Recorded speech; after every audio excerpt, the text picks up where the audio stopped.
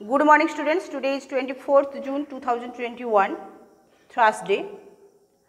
আমি তোমাদের গতকাল তিন সংখ্যার যোগ করতে দিয়েছিলাম এবং তার সঙ্গে আরও একটি ভিডিও পাঠিয়েছিলাম। সেটা হলো হাতে রাখা যোগ। তোমরা নিশ্চয়ই দেখেছ কীভাবে করতে হয়। তো আজকে আমরা সেরকমই যোগ আজ থেকে আরম্ভ করব। সবাই ভালো করে ভিডিওটা লক্ষ্য করবে এবং তারপর নিজেরা খাতায় করবে। ঠিক আছে? এখানে দেখো, এখানে রয়েছে দুই দশ নয় উনত্রিশ, এর সঙ্গে চার যোগ করতে বলা হয়েছে। তো আমরা সবাই জানি কি, প্রথমে এককের ঘরে। তো এককের ঘরে আমরা যখন যোগ করব, তো এককের ঘরে প্রথমে রয়েছে নয় এবং পরে রয়েছে চার। তাহলে আমরা কি করব? নয়টাকে হাতের তালুতে রাখব এবং চার পর্যন্ত, অর্থাৎ চার রেখা পর্যন্ত আঙুলের যে চার নম্বর রেখা, সেই পর্যন্ত আমরা গণনা করব। তো হাতের তালুতে আমরা কী রাখব?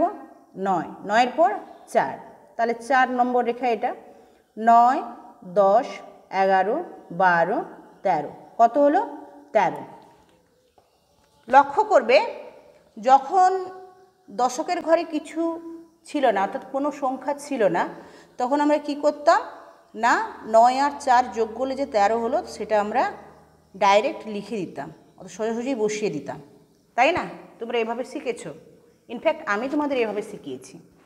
কিন্তু এখানে তুমি লক্ষ্য করো, এই গণিতটাতে লক্ষ্য করো, এখানে কিন্তু দশকের ঘরে কি রয়েছে বলো তো? দুই রয়েছে। দশকের ঘরে কি রয়েছে? দুই রয়েছে। যেহেতু দশকের ঘরে সংখ্যা রয়েছে, সেহেতু তুমি ডাইরেক্ট এক দশ তিন তেরো লিখতে পারবে না। তাহলে তোমাকে কি করতে হবে? না, এক দশ তিন তেরোর মধ্যে এককের অঙ্ক তিন, তাই এককের ঘরে তো তিন বসবে।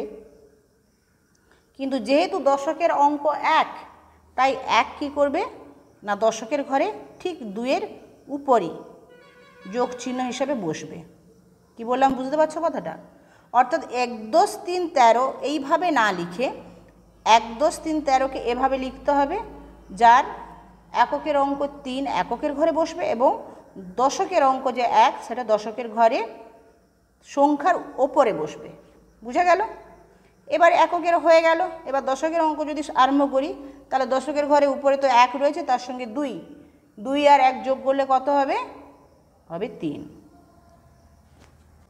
এর পরের গণিতটা অনুরূপভাবে করি। তো এখানে রয়েছে সাত আর এখানে আট। এককের ঘরে রয়েছে আট এবং সাত। আটকে হাতের তালুতে রাখলাম আর সাত পর্যন্ত আমরা গণনা করব। এটা হচ্ছে সাত নম্বর রেখা।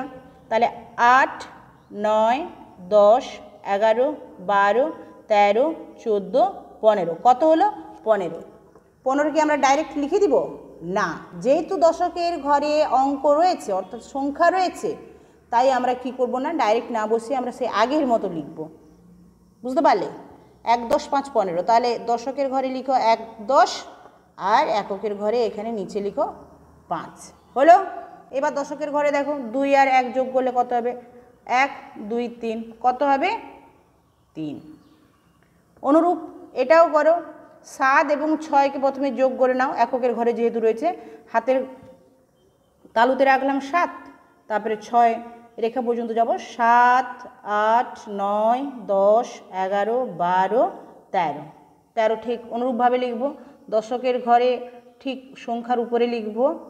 এক, আর এখানে এককের ঘরে ঠিক নিচে লিখব তিন, তেরো। আর দুই আর এক যোগ করলে কত হবে? তিন।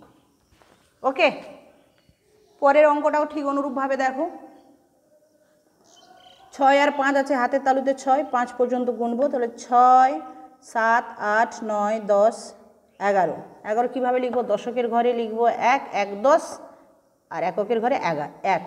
এক, দশ, এক, এগারো। এইভাবে লিখব। তারপর মানে দুই আর এক যোগ করলে কত হবে? তিন। তোমরা তো ভিডিওটা দেখলে, খুব ভালো কথা, কিন্তু নিজেরা করবে। এটা দেখে নাও, দেখে প্রথমে বুঝো, বুঝার পর নিজেরা খাতায় না দেখে করবে। ঠিক আছে? তো সবাই ভালো থেকো, সুস্থ থেকো, টাটা।